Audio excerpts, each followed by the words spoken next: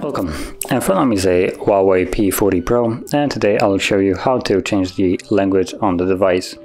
So if you have inserted the SIM card into the device and for instance you're in a different country uh, that speaks a different language than English, your phone is set to English, you'll probably realize that Huawei without even asking you changes your language to default of the SIM card and removes the previous one as well. So that's uh, really nice of it. And here I will just kind of try to demonstrate. Hopefully it will work this time.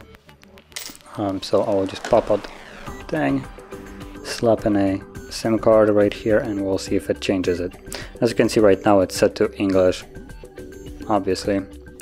So just lock it and see if I put it in will it change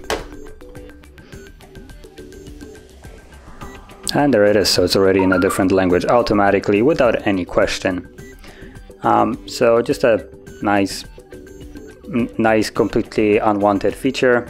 Um, so now we have to go back and change it.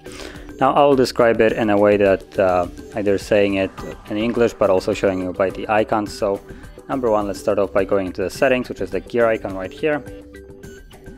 And from there, we want to go all the way down to system and uh, I think it was uh, applications or something like that. So it's the second one with the blue icon of a phone with a gear right here. And then language and um, I think it is region. So it's a third option right here, this one.